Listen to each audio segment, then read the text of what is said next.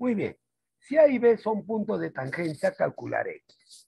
Profesor, lo que yo estaría diciendo es lo siguiente. Para resolver esto, trazo una paralela a este lado. Trazo otra paralela a este lado.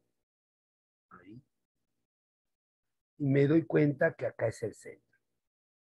Porque este es radio, radio, radio, es tangencial significa que esto también vale 90 grados. Y si es 90 grados, este ángulo es 90 grados. Y si este es 90 grados, teniendo este arco, él es la mitad. Entonces, profesor, X será igual a 90 grados sobre 2. X será igual a 45 grados.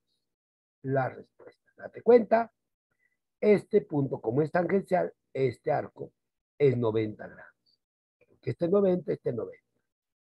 Ya este valor 90 es el doble de x. Por lo tanto, x vale 45.